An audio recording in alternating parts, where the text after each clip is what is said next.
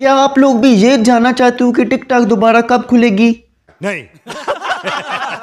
यार हमारी ये अवाम किसी हाल में खुश नहीं है। जब खुली हुई थी तो कहते थे बंद करो बंद करो बंद करो। और अब बंद हो गई है तो कह रहे हैं खोलो खोलो खोलो। ये क्या हो रहा है? कौन है ये लोग? कहाँ से आते हैं वालेकुम दोस्तों welcome to U S tech family दोस्तों, क्या आप लोग भी ये जानना चाहते हो कि टिकटॉक दोबारा कब ऑन होगी? दोस्तों, इस वीडियो के अंदर मैं आपको मुकम्मल तफसीलात देने वाला हूँ, कब टिकटॉक ऑन होगी, किस तरीक को टिकटॉक दोबारा खुलेगी और आप लोग उसको यूज़ कर पाओगे। दोस्तों, मुझे बहुत सारे मैसेज आ रहे हैं टिकटॉक कब अन बैन होगी, बताओ, हमें बताओ। तो यार, मैं आपको यही बताने वाला हूँ। दोस्तों, मैं आपको सबसे पहले तो ये बताना चाहता हूँ कि टिकटॉक आपको पता है कि क्यों बंद हुई है गैर अखलाकी मवाद अपलोड करने की वजह से।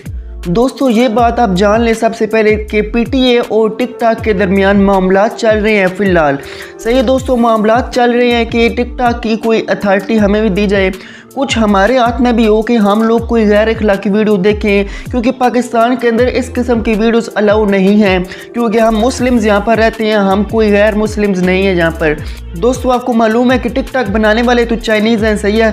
तो वो इस किस्म की वीडियोस देखते रहते हैं और बहुत कुछ देखते हैं। तो उनके लिए ये आम सी बात है, हम अगर हमारे लिए ये आम सी बात नहीं है। दोस्तों, अब टिकटॉक और पीटीए के दरमियान ये मामला तय पा रहे हैं कि पीटीए ये कहता है कि हमारे हाथ में कुछ दो, हमारे हाथ में कुछ कंट्रोल दो कि हम जो भी वीडियो देखेंगे, उसको डिलीट कर सकें, उसका अकाउंट बैन कर सकें, जो भी इस किस्म की गैर अखलाकी वीडियो अपलोड करता है।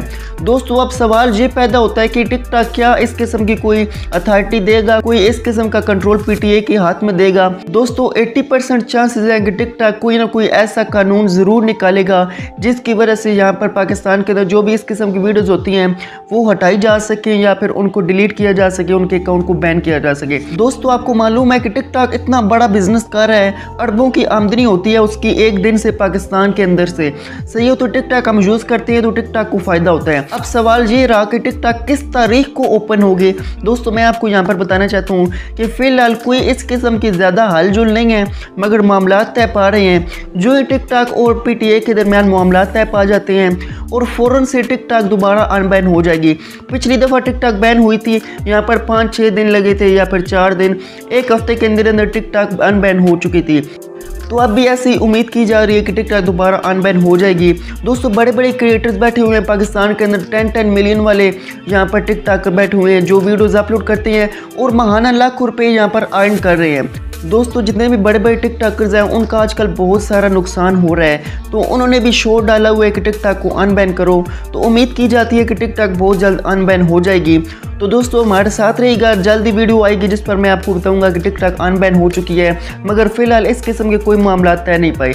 दोस्तों, उम्मीद करता हूँ कि आपको ये वीडियो पसंद आई होगी। मजीद ऐसी इंटरेस्टिंग वीडियोज़ के लिए चैनल को सब्सक्राइब कर दीजिएगा और वीडियो को लाइक कर दीजिएगा। दोस्तों, मिलते हैं किसी नेक्स्ट वीडियो के अंदर। आज के लिए इजाज़त दीजिए। खुदा हाफिज़।